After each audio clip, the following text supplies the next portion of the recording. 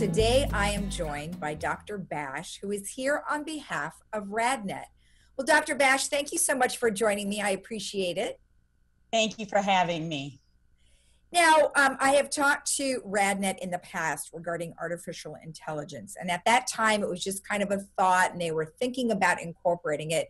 But here we are, maybe a year or so later, and it is now being used. And even yourself, you said that you've been using it for some time now. So, before we get into how it's being used, can you give me a background about what artificial intelligence really is? Absolutely. Yes. Artificial intelligence is thriving within RadNet and really throughout the world. So it's something we've heard a lot about uh, recently. So, artificial intelligence or AI is a means of using computers to enhance human thinking. And um, AI doesn't only allow thought augmentation, but it can also improve our efficiency, our work efficiency, our revenue, uh, quality, accuracy, and even safety. And amazingly, uh, AI algorithms can actually learn from their own mistakes and, and keep improving over time, which I think is just fascinating. So, the more data you feed, the better it gets. So, we want computers really to take us to a place that we can't go ourselves. You know, we'd like computers to um, really improve our lives, our, our health, and our happiness, but in a way that's safe and universally beneficial. And so, basically, we want computers to augment human capacity. And um, AI is playing a very important role, but we didn't really hear about it 20 years ago. You know, we hear a lot about it now. And really the reason is is the currency of computers, which is data. We now have so much more data. So computers achieve AI by a means of running data through large um, computer generated neural networks. And computers are now sophisticated enough that they can analyze large volumes of high dimensional data and recognize patterns. Mm-hmm. And amazingly, computers are actually much better at humans than recognizing patterns. Um, and so computers can be taught to answer questions that enhance human human capabilities. And and this is really helpful in all areas. But for me personally, as a neuroradiologist, I'm I'm really interested in its potential in improving um, medical imaging. So AI is really poised to revolutionize not just medicine, but really all occupational sectors uh, throughout the world. So, all areas of our lives which are impacted by technology will soon be transformed by AI. Well, and, and, and I think that there is some some worry uh, regarding that. Um, however, before we even address that, one one thing I do want to address is how RadNet is actually using it. I mean, obviously it's used, as you mentioned, in radiology, but what does it do to it to help the radiologist uh, to be able to identify certain things? Yes, yes. Um, so there are many different AI products on the market. Uh, RadNet uses AI products that um, that work well in an outpatient setting. So I'm fortunate enough to work for a company that's actually the largest outpatient imaging enterprise in the United States, and they're very patient centric and forward thinking. So they've always been very open to AI, and um, you know they they're using AI to improve. Well, we're all using AI to improve patient care. So I can give you some examples of what we do. For example. We use AI products to help us with billing on the front end. That's something that's very labor intensive, and AI can help a lot with that. Um, we work with a, a company, Philips, I'm sure you've heard of that. And we do a no-show program with them. It's sort of a pilot program. Helps us identify patients that are at risk for no-show, and we can give them a reminder call. Um, we have a we work with an AI that uh, allows an app on your cell phone remind you of your annual mammograms. It can be very helpful. Um, one of the most exciting things that we do with AI is we work with like a company called uh, Subtle Medical Products, Subtle MR, and also some of the major vendor GE um, has a product, and this uses AI to allow us to scan patients between, I would say, uh, 45 to 75 percent faster which is amazing because you know patients don't really like i mean everyone you know all of us generally will go through an mri at least one in our lifetime but we don't really want to lie still in the magnet for 30 minutes. So we can get our patients out oh, quicker than half the time now and but yet with improved image quality. So it's a win-win for patients um, who can get in and out quicker. It's better for the radiologist because they have better image quality mm-hmm. and it's better for the um, imaging facility efficiency so that's a very exciting i mean that's going to re- revolutionize everything i predict that every imaging center everywhere in the world will soon be using AI to do this kind of thing because um, there's just no downside at all. And I personally have been using AI in my uh, clinical neuroradiology practice for the last 14 years. So I work with uh, CorTechs and also another company, Icometrix. These products, CorTechs products, NeuroQuant and IcoBrain, I use these on patients that have um, potential dementia or seizures or multiple sclerosis or um, brain trauma. And mm-hmm. what this does is it measures, uh, it's called quantitative volumetric imaging. And all that means is it's measuring things in the brain and can compare that to a large normative database. So, for example, as we age, we all, you know, start to memory loss, unfortunately, over time.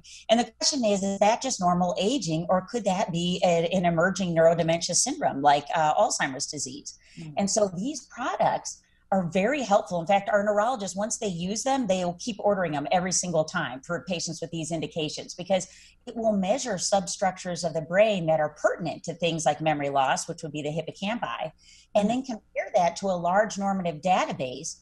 So you know whether that degree of brain volume loss is just normal for age or whether you're sort of outside of the norm for age, which may be an indicator that you're actually developing something like Alzheimer's disease. And so that is very useful. And they also have new developments where they help us to measure brain tumors and, and help in identifying strokes early, which can save lives. So that's a very exciting area. And then we also work with a company called Ezra, which can help detect prostate cancer early and measure tumors within the prostate. And then a very interesting new development, uh, RadNet incorporated a company called DeepHealth recently and that um, helps in early screening for um, breast cancer on mammograms. Mm-hmm. It turns out, and this is just amazing, it's actually just came out in an article in Nature, but turns out that the AI algorithm can recognize breast cancer on a mammogram up to two years earlier than um, expert radiologists, which is just amazing. So we can radiologists can work together with this AI technology and really help save lives with it. Wow, you're right. It definitely will be changing all aspects of, of our world, I think, um, as a whole. So that is that is absolutely amazing. Now, of course, as I mentioned earlier, there are some concerns about that. I mean, maybe a radiologist would say, well, gosh, if that's going to do that for for us and for our patients two years in advance, well, then what am I really still needed? I think a lot of people are worried about that. Yes, that's an excellent question. And it's actually a question I get a lot. And so the, the answer to that is really no. Um, AI is an outstanding tool, but it really remains just that it's a tool. So AI enhances medical providers' abilities, but it can't uh, replace that human interaction. You know, although AI is better at pattern recognition, humans are really better at global reasoning. So, no radiologist that I'm aware of has ever lost a job to AI, and I don't anticipate that they will in the near future um, it's really designed to work hand in hand with humans. So that humans do what they're good at, AI does what what it's good at, and finding that we can do extraordinary things um, you know, when we work together with AI.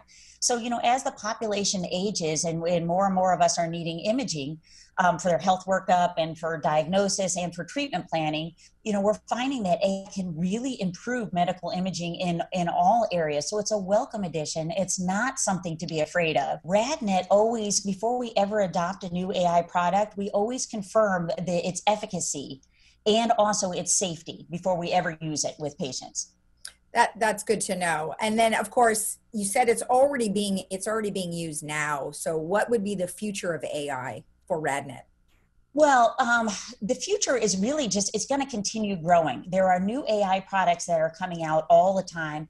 Um, I'm it happens to be a passion of mine, so I'm very involved with the industry and, and always watching out for things but it's something that we are going to be um, using more and more in a way that is uh, when we find things that are beneficial to patients then we're going to start using it and you know ai products there are certain products that we don't use so much at radnet but that are extremely helpful like in hospital setting where you have more acute critical findings so ai products for example triage product identify neck fractures and pulmonary embolisms, which is a, a clot in your um, arteries in your lungs that can cause you to stop breathing, mm-hmm. and um, and other things like that. It can identify that earlier, like brain bleeds, and then mark those studies stat So they reviews the images before it ever gets to the radiologist. And then it, when the radiologist pulls up their work list, they see a stat study that the AI has said, okay, hey, listen, there's something abnormal here. Look at this quickly.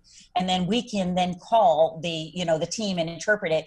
And again, that can help um, save lives. And with the strokes, you know, we've now found that this AI technology not only does it find so a stroke is basically where you have a blood clot that you know blocks an artery in your brain and then causes those brain cells to die mm-hmm.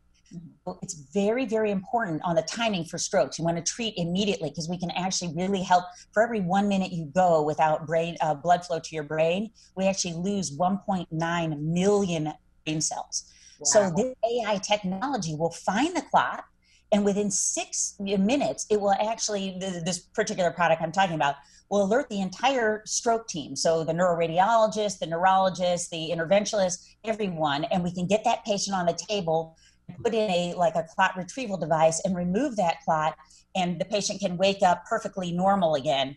And so um, it's been so there are very very exciting ways that ai is helping to save lives and and that's just going to keep getting better and better as technology improves and that you know innovation improves.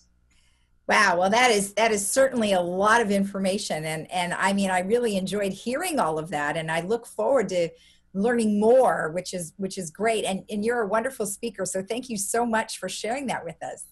Well thank you so much for having me. It was a pleasure